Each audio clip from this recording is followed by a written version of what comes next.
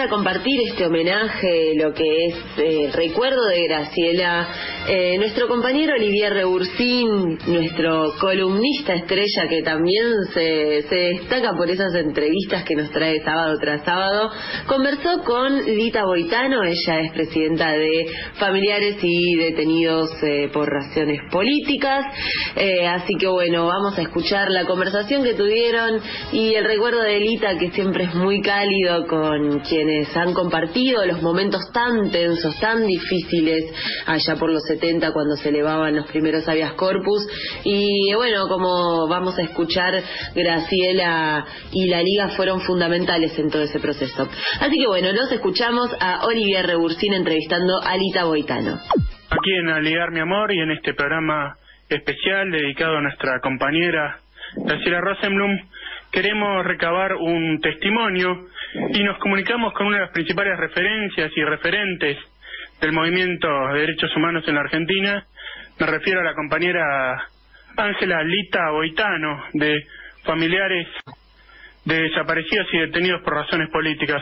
Hola Lita, buenos días. Hola Lita, ¿cómo te va querido? Buen día. Bien, bien, bueno, qué placer, qué placer te digo poder aportar el cariño por lo menos ahora a Graciela. Bueno, muchísimas gracias, Lita. Bueno, vos la conociste a Graciela en épocas muy terribles, como fue en la dictadura, y con tu vínculo a través de familiares de la Liga, con la Liga. Eh, nos gustaría que nos cuentes un poco cómo fueron esos años, cómo fue eso, ese encuentro, en ese horror que se vivía, cómo era encontrarse todos los días para hacer las denuncias. Exacto. Eh, vos sabés que realmente muchas veces me pregunto si fue el primer día que, fui a la liga a denunciar la desaparición de mi hijo Miguel Ángel, que había sido el 29 de mayo de 1976, eh, que llego a la liga por el llamado de una de las madres que yo no conocía y que me dijo, hay un lugar sin nombre me dice ella, no, no me dijo sin nombre, pero no me había dicho a mí que, que era solamente el sitio, Corrientes y Callao, eh, quinto piso. Era lo único, no, ni siquiera quinto piso, Corrientes y Callao va a haber una reunión muy importante. Así que yo fui casi, diría, eh, un año después del secuestro de mi hijo. Adriana estaba viviendo eh, con conmigo después de venir de Brasil, Adriana, mi hija, Adriana Silvia, y, y, y voy, y vamos con un compañero que también tenía el hermano desaparecido, eh, nosotros la palabra no la usábamos todavía, y, y no sabíamos cuál era el, lugar fijo, pero veíamos entrar mucha gente y bueno, me quedó grabado y me quedará para hasta el último día de mi vida, Corrientes 1785, Quinto J.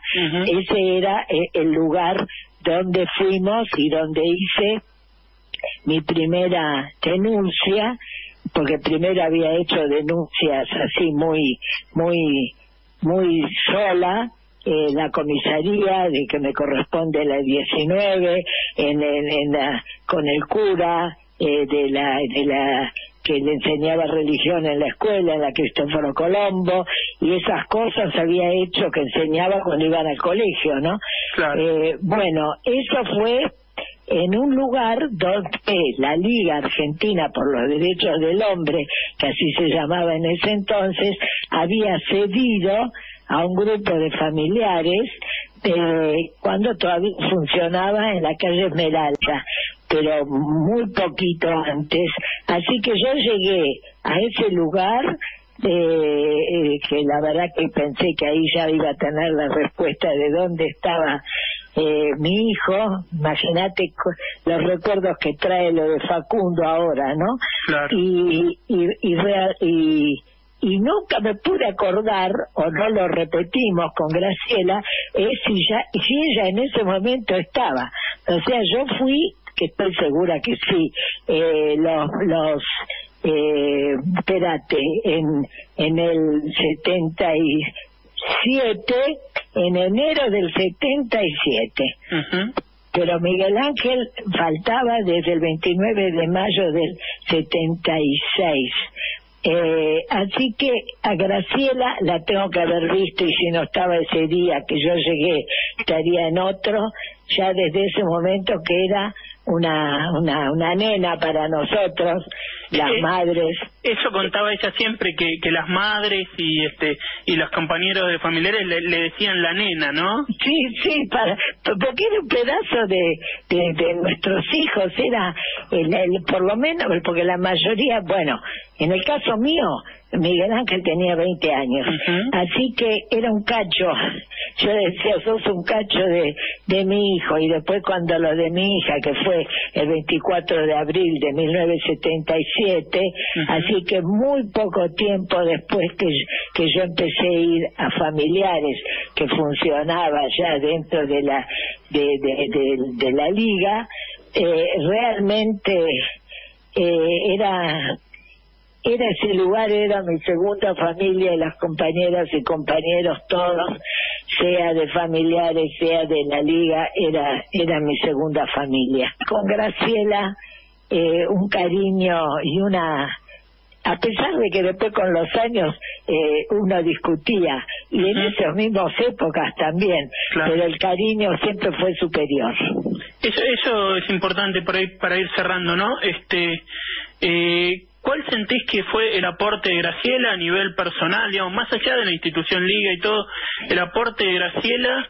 a la lucha, primero en la búsqueda por la justicia, en la búsqueda de los desaparecidos, y luego en la lucha contra la impunidad? Bueno, fue de siempre. Eh, la, la, la verdad que no solo porque era cercana la edad a la de nuestros hijos, sino que después fue el acompañamiento en la lucha.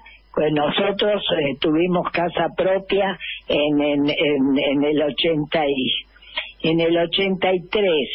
Yo estaba exiliada en Italia, estuve exiliada en Italia, no porque me, me, me, me, me persiguieran acá, sino porque fuimos todas las, las- los organismos en representación a Puebla.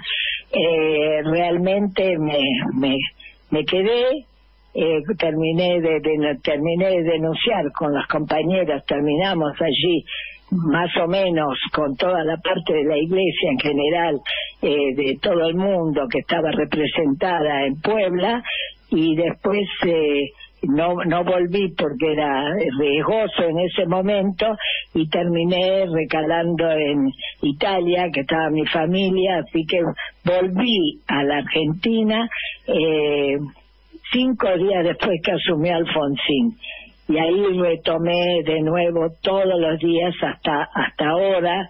Y en este momento de la pandemia no puedo, pero además porque me fracturé la otra pierna. Por lo tanto, el poder discutirlo, el poder eh, llegar a acuerdos, el poder estar o no en determinadas cosas de acuerdo, pero por, por la lucha, por la memoria, la verdad y la justicia, por la aceleración, que es lo, último que estamos pidiendo, de los juicios, por, eh, por todo eso, Graciela estuvo siempre presente. Faltó, nos faltó a todas y a todos, creo, mucho de su, de su capacidad, de su inteligencia, de su cariño y, y realmente eh, yo lo digo y eso lo digo como Lita Boitano, eh, mucho amor y, y, y la extrañamos. Y en familiares siempre tiene su lugar de, de, de afecto. Lita, muchísimas gracias, han sido hermosas palabras y nos vemos en la lucha y que te mejore de, de las fracturas y Sí, eso. sí, por suerte estoy mejor y bueno, algún día podremos salir de nuestras casas. Eh, Porque con los años que tenemos somos de riesgo, ¿viste? Por lo tanto, esperemos que pase la pandemia para poder estar en la calle, que va a ser el lugar donde seguiremos la lucha. Pasó por aliar mi amor Lita Boitano de familiares de desaparecidos y detenidos por razones políticas. Muchas gracias. Gracias a vos, querida.